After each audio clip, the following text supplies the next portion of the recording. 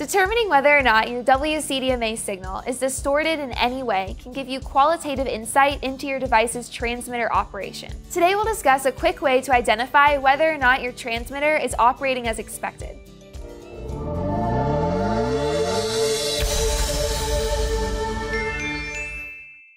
Hi, I'm Ally, and welcome to Ready Set Measure. In this video, we'll be discussing occupied bandwidth. In an earlier video, we discussed measuring channel power.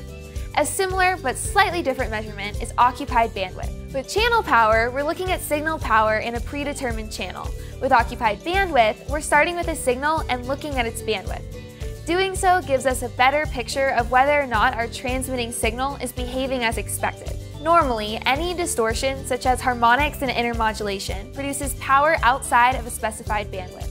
However, by looking at the bandwidth occupied by the majority of our signal's power, we can check to see if there are shoulders on the side of the spectrum or rounding or sloping on top of the spectrum. These indicate intermodulation or filter shape problems that we need to address during the design phase. It's important to measure the occupied bandwidth, which is typically where 99% of your device's signal lies. Doing this manually can be cumbersome and could slow down your device design and manufacturing. So instead of doing this manually, we can use a signal analyzer with a built-in occupied bandwidth or OBW tool to make the measurement automatically. Here we can calculate and display the total power of our signal, the occupied bandwidth, and the transmit frequency error. We need no prior knowledge of the signal other than its nominal carrier frequency. The occupied bandwidth measurement integrates the power of the displayed spectrum, and it also adds markers to show us the occupied bandwidth. The measurement defaults to 99%, but this can be changed if required. Additionally, you often want to know if your modulation is symmetrical.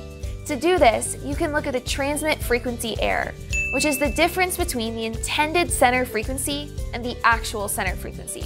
So the occupied bandwidth measurement is a quick way to get qualitative and quantitative insights into your transmitter's operation.